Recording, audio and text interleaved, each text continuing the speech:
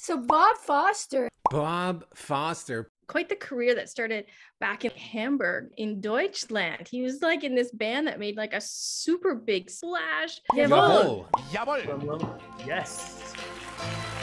Hmm. There we go. Yeah. There you are, right over there. Yep. Right there.